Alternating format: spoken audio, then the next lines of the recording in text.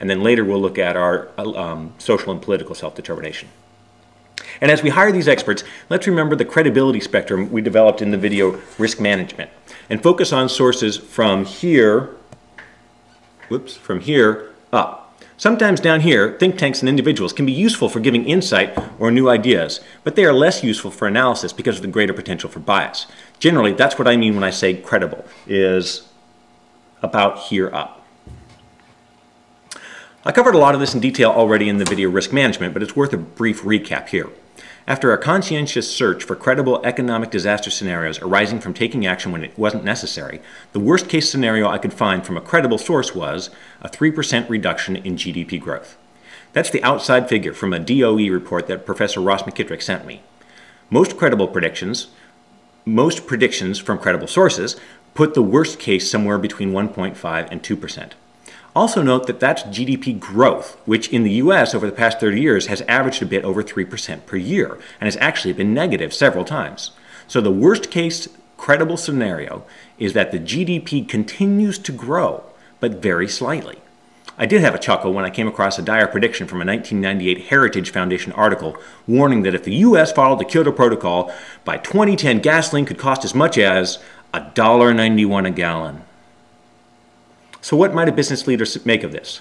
That's it, he might say? That doesn't sound catastrophic. What else is out there about the economic effects of taking action? Oh, and fire that heritage guy. He's lost his credibility, and I don't have time for histrionics. Well, there is Bjorn Lomborg's Copenhagen Consensus, which had four Nobel laureates on board. They concluded that action on global climate change shouldn't be a priority compared to other world issues. But they didn't really talk so much about the negative economic impacts of action on climate change. And anyway, whatever credence we give to their advice is pretty much canceled out by the conclusions of the Economist's Statement on Climate Change, a petition with six Nobel laureates, but who's counting, which concluded that the right course of action would actually make money. Plus, both of those were sort of think tanks anyway, so we're not going to listen too much to them. They're right in here, in the middle, so it's worth putting in the hopper, but um, it doesn't carry too much weight in uh, weighing opinions. There's also the Stern Report, prepared by Nicholas Stern for the British government. As we think about how much credibility to assign to him and his conclusions, now technically he's an, a, a, professional individual down here, but he headed up a whole working group, and the government, so that puts him more in the think tank range and the government of the world's 12th wealthiest country listens to him. So I'd place his report somewhere in the high middle, higher than the Copenhagen consensus for sure, because a lot more work went into the Stern report, and a lot more was riding on it. So its methods were probably under uh, were probably way more rigorous because they were under greater scrutiny. His study concluded that this up here would cost about 1% of GDP. Note that we're talking GDP, not GDP growth. So don't try to compare it to the GDP number I just mentioned earlier.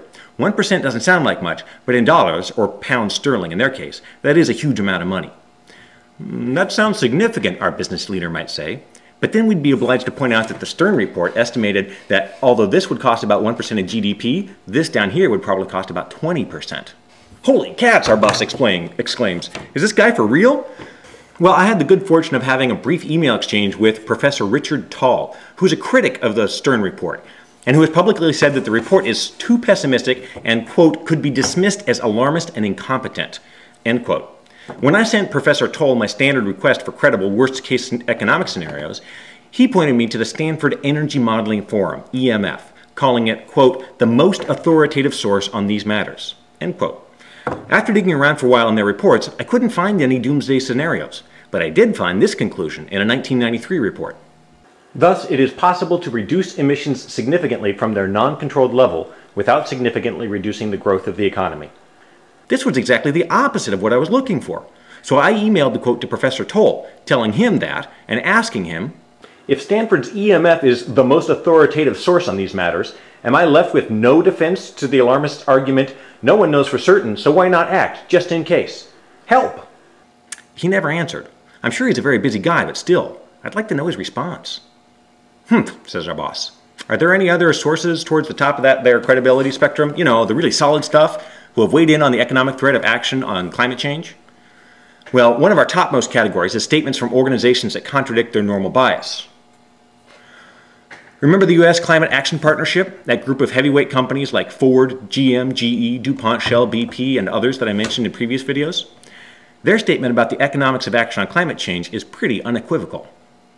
Each year we delay action to control emissions increases the risk of unavoidable consequences that could necessitate even steeper reduction in the future at potentially greater economic cost. Action sooner rather than later preserves valuable response options and should lower the costs of mitigation and adaptation. Remember, this is coming from groups whose acknowledged bottom line is to build value for shareholders. If you want to argue with them, you'd better have some pretty good stuff. And as long as we're at the top of the credibility spectrum, it's worth mentioning that the American Association for the Advancement of Science, AAAS, said, The longer we wait to tackle climate change, the harder and more expensive the task will be. And the National Academy of Sciences said, Delayed action will increase the risk of adverse environmental effects and will likely incur a greater cost.